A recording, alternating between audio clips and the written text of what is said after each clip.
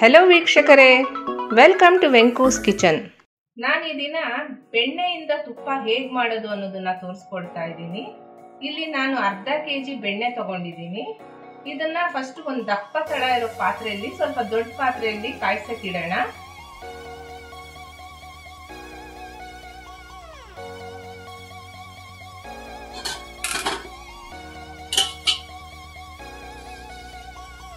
ಇದನ್ನ ನಾವು ಸಿಮ್ಮಲ್ಲೇ ಇಟ್ಕೊಂಡು ಮಾಡಬೇಕು.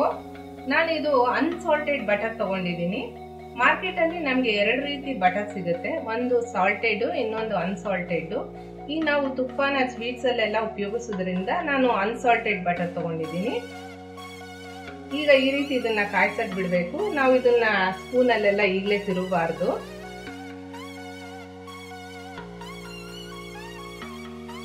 ನಾವು ಈ ರೀತಿ ತುಪ್ಪನ ಮನೇಲೆ ಮಾಡೋದ್ರಿಂದ ಒಂದು ತುಪ್ಪ ಶುದ್ಧವಾಗಿರುತ್ತೆ. ಅಂದ್ರೆ ಯಾವುದೇ ರೀತಿಯ ಕಲಬೆರಕೆ ಇರುತ್ತೆ ಅನ್ನೋ ಭಯ ಇರೋದಿಲ್ಲ. ಎರಡು, ಇದನ್ನ ನಾವು ಯಾವಾಗ ಬೇಕೋ ಅವಾಗ ಫ್ರೆಶ್ ಆಗಿ ಕಾಯಿಸ್ಕೊಳ್ಳೋದ್ರಿಂದ ಇದು ತುಂಬಾ ರುಚಿಯಾಗಿರುತ್ತೆ. ನಮ್ಗೆ ಮಾರ್ಕೆಟ್ ಅಲ್ಲಿ ಸಿಗೋ ತುಪ್ಪ ತುಂಬಾ ಅಷ್ಟು ಫ್ರೆಶ್ ಆಗಿರೋದಿಲ್ಲ. ಅದರಿಂದ ಇದು ನಾವು ಮನೇಲೆ ಮಾಡ್ಕೊಳ್ಳೋದು ತುಂಬಾ ಉತ್ತಮ. ಮೂರು, ಇದು ನಾವು ಮಾರ್ಕೆಟ್ ಇಂದ ತರೋ ರೇಟ್ಗಿಂತ ಇದು ತುಂಬಾ ಕಡಿಮೆಯಲ್ಲಿ ನಾವು ಮನೆಯಲ್ಲೇ ಮಾಡ್ಕೋಬಹುದು ಈಗ ಇದೆಲ್ಲ ಕರಗ್ತಾ ಇದೆ.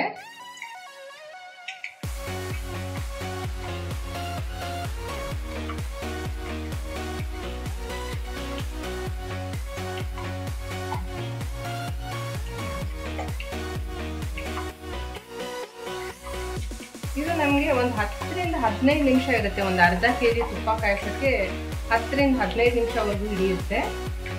ಇದನ್ನ ನಾವು ಯಾವಾಗಲೂ ಸಿಮ್ಮಲ್ಲೇ ಇಟ್ಕೊಂಡು ಕಾಯಿಸ್ಬೇಕು.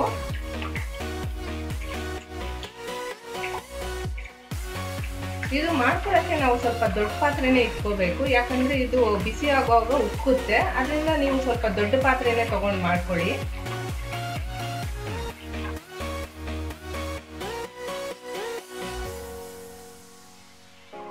ಈಗ ಇದು ನೋಡ್ಬೋದು, ಕರಗ್ತಾ ಇದೆ. ಇನ್ನು ಸ್ವಲ್ಪ ಕರಗಬೇಕು.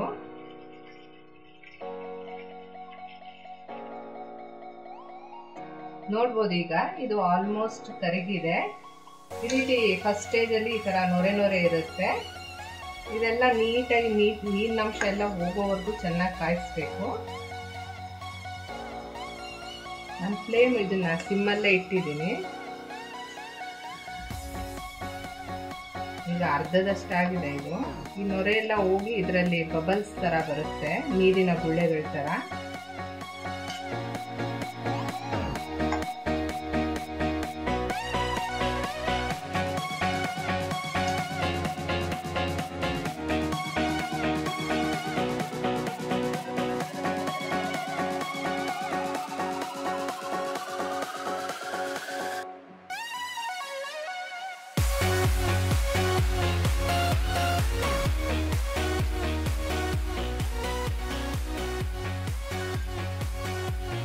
ಈಗ ನೊರೆ ಎಲ್ಲ ಕಡಿಮೆ ಆಗಿ ನೀರಿನ ಗುಳ್ಳೆಗಳು ಇಳಿತಾ ಇದೆ.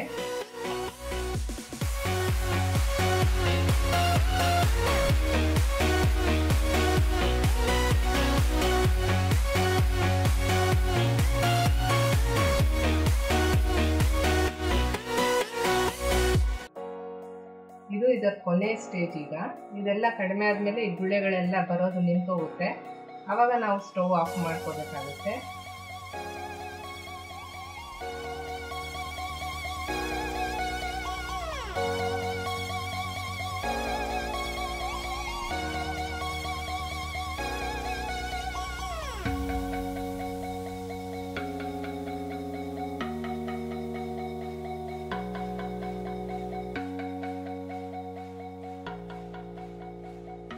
ಈ ಸ್ಟೇಜಲ್ಲಿ ನಮಗೆ ಘಮ ಘಮ ವಾಸನೆ ಕೂಡ ಬರುತ್ತೆ.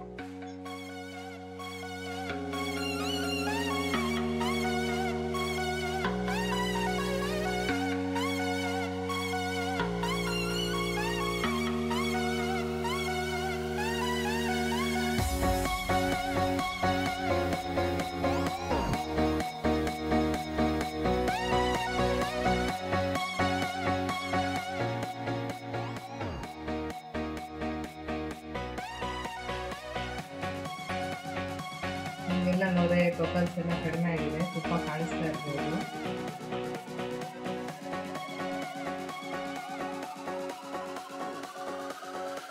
ವೀಕ್ಷಕರೇ, ಈಗ ನಾನು ಇದಕ್ಕೆ ಒಂದು ಹತ್ತರಿಂದ ಹನ್ನೆರಡು ಮೆಣಸಿನಕಾಳು ಮತ್ತು ಐದರಿಂದ ಆರು ಲವಂಗ ಸೇರಿಸ್ತಾ ಇದ್ದೀನಿ.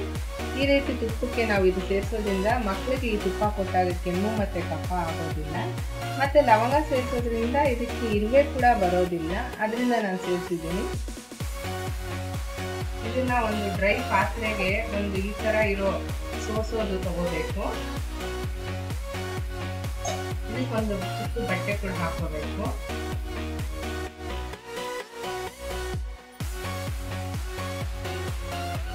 ಸೋಸ್ ಸೋಸ್ಕೊಳ್ಳೋಣ